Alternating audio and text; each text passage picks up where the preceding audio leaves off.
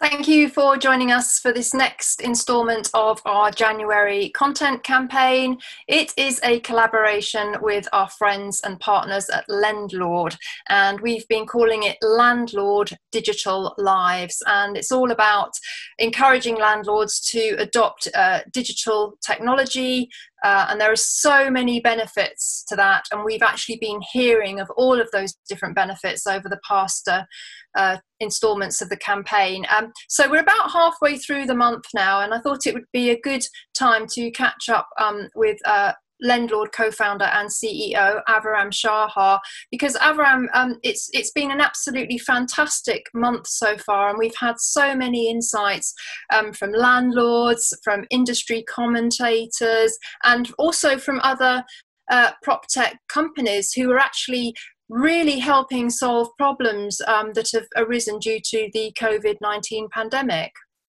Uh, yes, definitely. It's great to see uh, first, you know, so many landlords uh, that starting to embrace technology, adopt technology, uh, moving digital.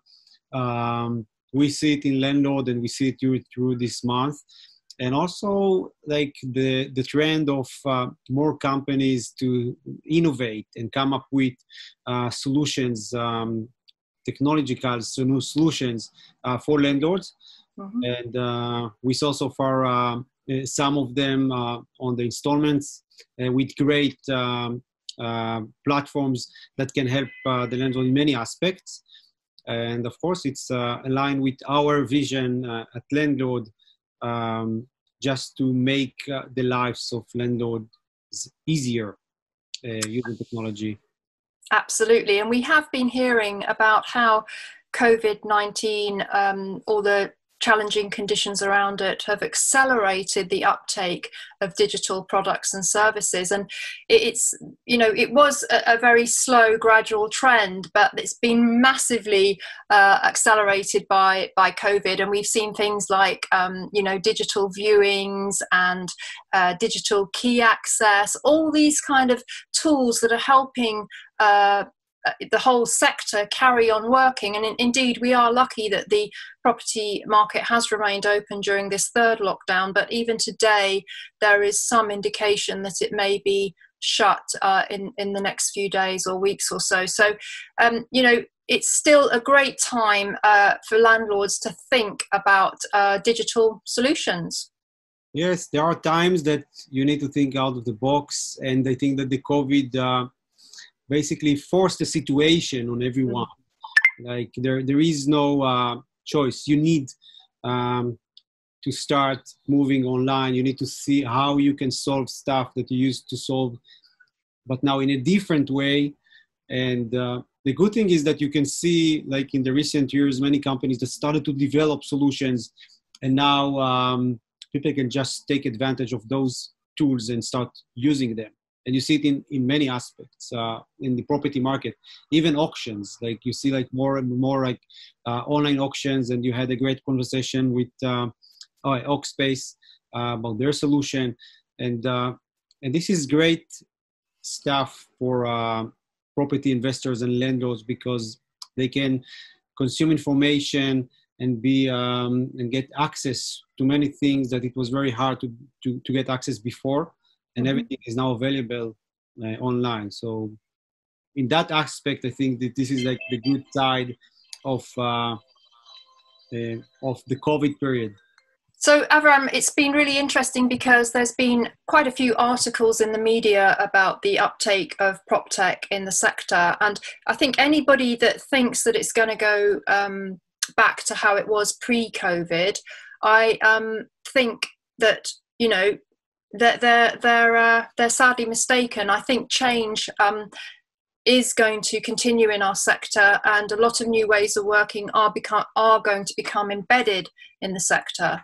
And um, uh, I think you know if you're a kind of analog landlord that's still resisting that change, um, you know you, you do need to uh, have a little bit of a wake up call. I think because not only that, tenants actually expect digital solutions. They're of the age uh, where everything around their life is run in a digital fashion. that they want to interact with digital platforms to you know log repairs or arrange viewings and those kind of things absolutely and this is like i think this is a side of the the customers of the landlord the tenants uh, they are basically using today a lot of uh, digital tools and they expect expect to, to get it uh, as well from their uh, landlords. And also in this area you can see many many um, uh, new tools that uh, as you mentioned you can uh, log maintenance um, um, issues. You can initiate payments. Um, all the tenant referencing can be online today. Um, so yes definitely. And in terms of you know like the articles that start like perhaps you know like imply that might this situation might um, you know go back. I think that once uh, you embrace the technology and once you understand the, the value you get from it from it. And i can give you like an example from Lendlord's user like if you use to manage you use to manage uh, your uh, portfolio and all of your data in spreadsheets and you move everything to um, a digital platform like Lendlord i think it's hard to um, you know come back to the old uh, uh, behavior because basically you have everything now available from anywhere from any device.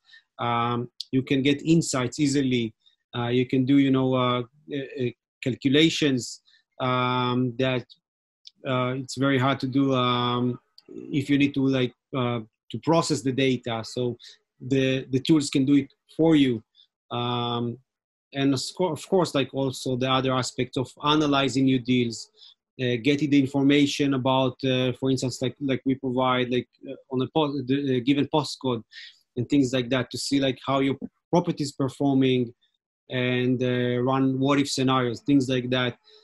So um, i think that once you start using it uh, these those kinds of tools um, I think uh, you will continue to do it because you understand the value you get out of it.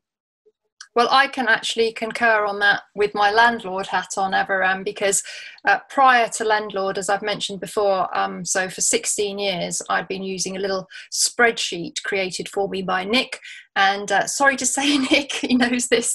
Uh, since I uh, put all my uh, portfolio details into Lendlord, I've actually never looked at that spreadsheet again um, because I instantly saw how much easier it was. And I think one of the key things that has come through our, our interviews with our, our landlord users is that everything is in one place. And yes you if you as long as you've got access to the internet you could be on a on you know a beach in the caribbean or you could be uh, hiking up a mountain and you could access uh, your portfolio details.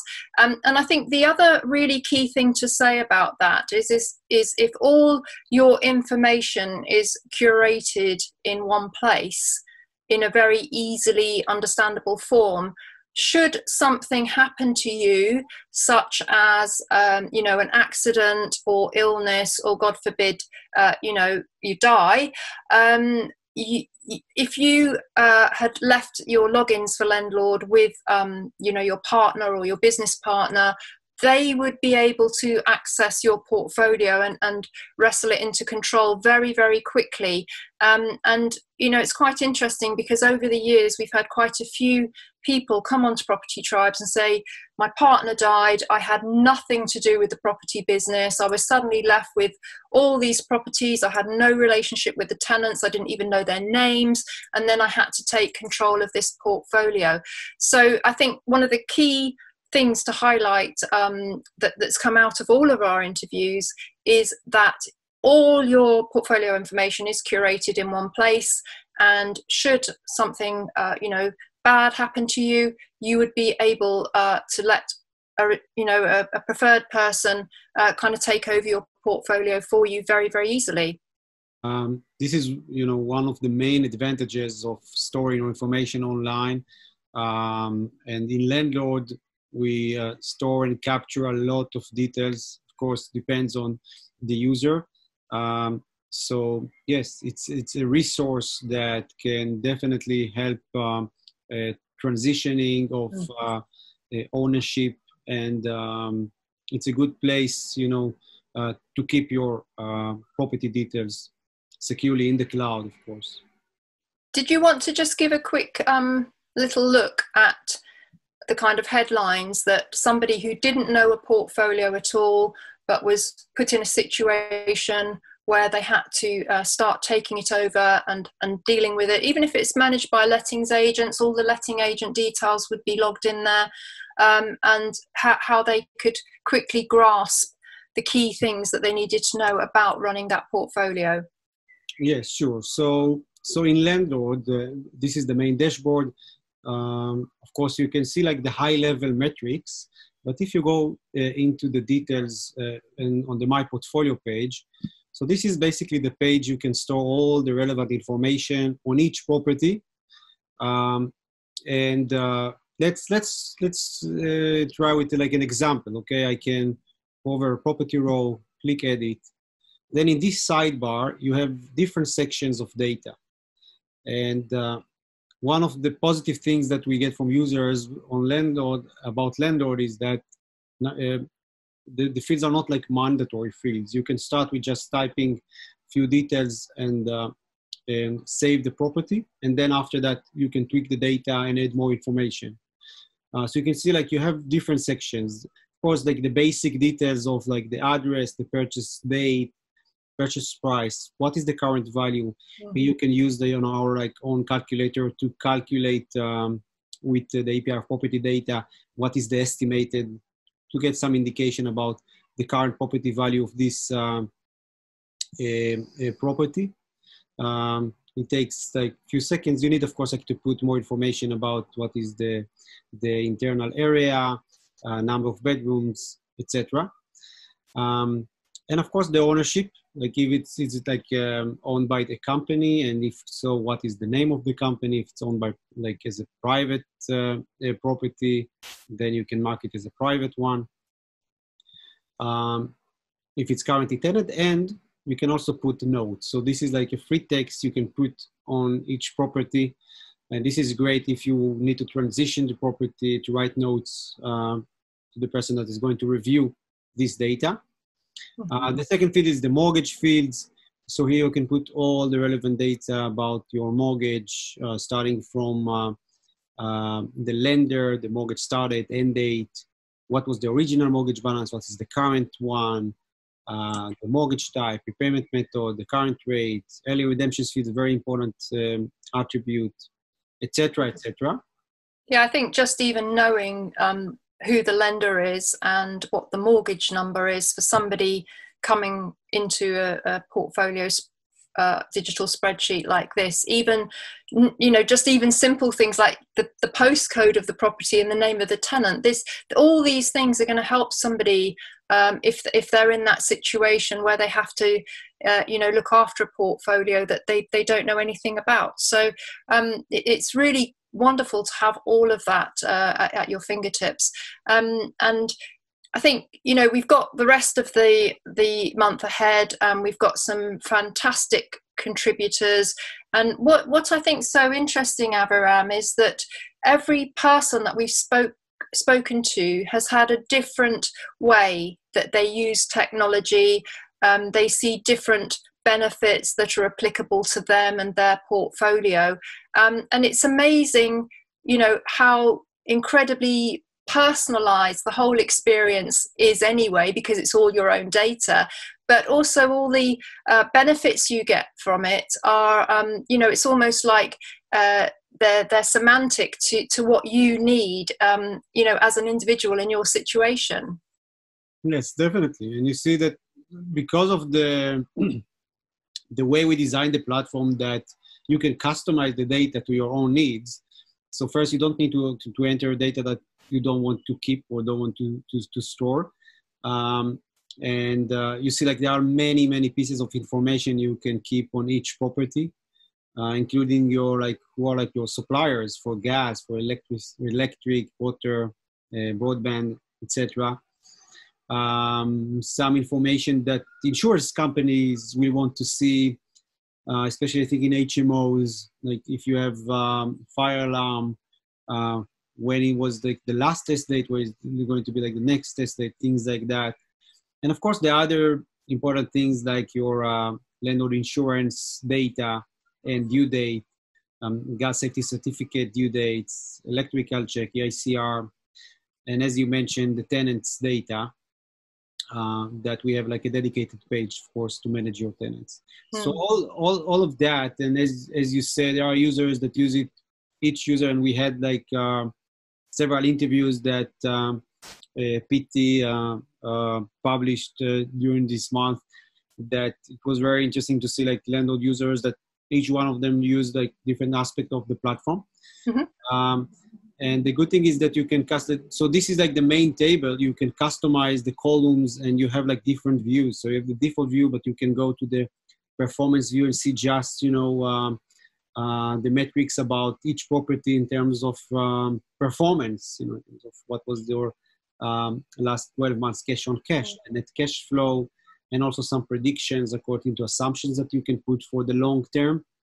Uh, but you can also define your own views so um, if you want just like to see the due dates of each property, so you can switch to this view and, and then you can see like which properties basically you need uh, to put uh, uh, more uh, due dates.